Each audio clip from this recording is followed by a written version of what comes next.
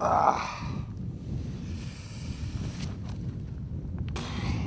sommes dans l'état de, de San Luis Potosi, mais en réalité cet endroit en particulier s'appelle Viricuta.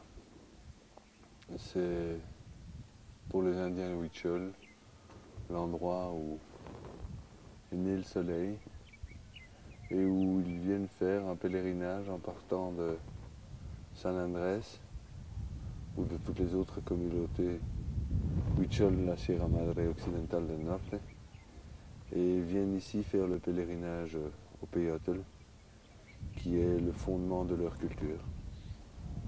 C'est probablement le lieu du monde où le contact à, la réalité et au cosmos et l'appartenance au réel est pour moi la plus forte.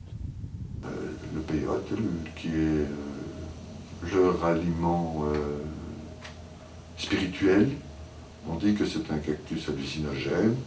Euh, J'avouerai que moi je ne vois pas très bien ce que veut dire cette expression, mais peu importe, c'est un élément de leur culture qui est fondamental.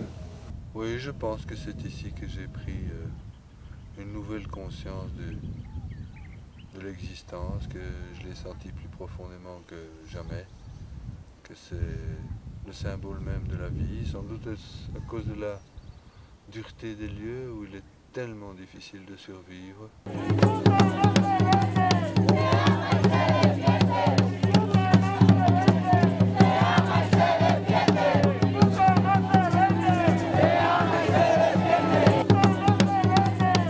Entonces nosotros exigimos que aquí el presidente de la República, que nos representa a toda la nación, cancele las 22 concesiones mineras que fue otorgado en esa zona. Y entonces sí queremos esa solución, señor presidente. Lo que pasa en Wirikuta, queremos que sea un precedente histórico. Si Wirikuta no se, no se respeta, por lo tanto, no se va a respetar el planeta. Nos va a llevar a todo mundo a la ruina.